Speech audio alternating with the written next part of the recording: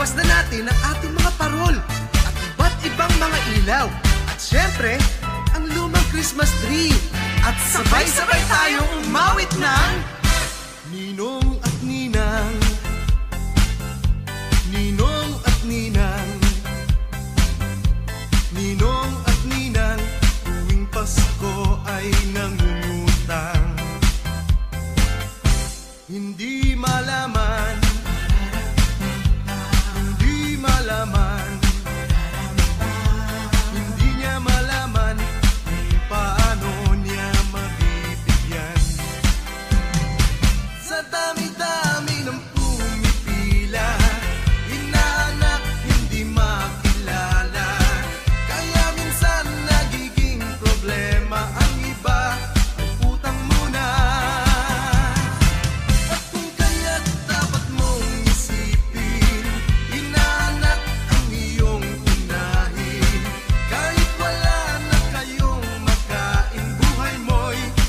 Christmas.